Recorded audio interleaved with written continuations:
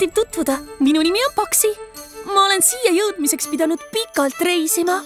minu koduplaneet Allio on siit väga-väga kaugel. see asub väljaspool sinu päikesesüsteemi ning tiirleb päikesega sarnase tähe ümber, kuid räägime sellest hiljem. kuigi me elame üksteisest väga kaugel, oleme Linnutee galaktikas naabrid.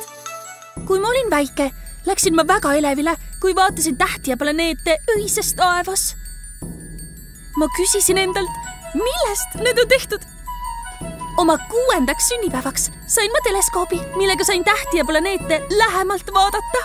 kärsitult ootasin aega, mil saaksin ise neid külastada.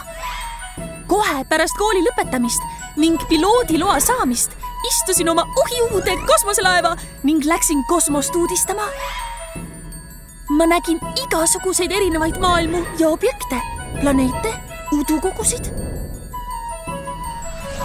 Komeete, nende kaaslasi, hämmastav, ma õppisin nii palju.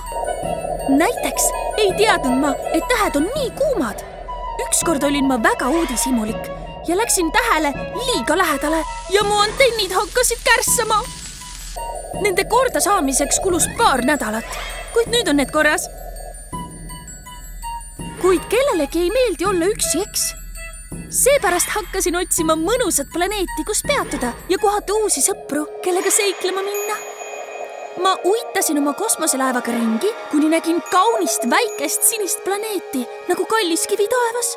mõistsin, et see peab olema Maa, sinu planeet. ma olin teistelt kosmoses reisijatelt juba varem kuulnud selle ilu kohta. ma tahan seda külastada, mõtlesin ma ma parkisin oma kosmoselaeva mõneks ajaks selle kohale ning jälgisin eemalt. kas teadsid, et mõned asjad on meie planeetidel väga sarnased? minu planeedil Allio on samuti mäed, vulkaanid, tasandikud ja jõed. seepärast meenutabki maa mulle kodu ning mulle meeldib see väga. sul on taevas üks suur kuu, meil Alliol on aga kolm väikest kuud. päris lahe, eks? Mina olen roheline, kuid mõned mu sõbrad Allioul on sinised, teised aga lillad. me kõik naeratame suuga, kui oleme õnnelikud ning väriseme, kui meil on külm, just nagu sina. Allio elanikel on majad ja lemmikloomad ka, kuid sinu jaoks võivad need tunduda veidi naljakad. me oleme erinevad, kuid meil on ka palju ühist. kas see pole mitte tore? nüüd on aeg tulla maale ja tutvuda sinuga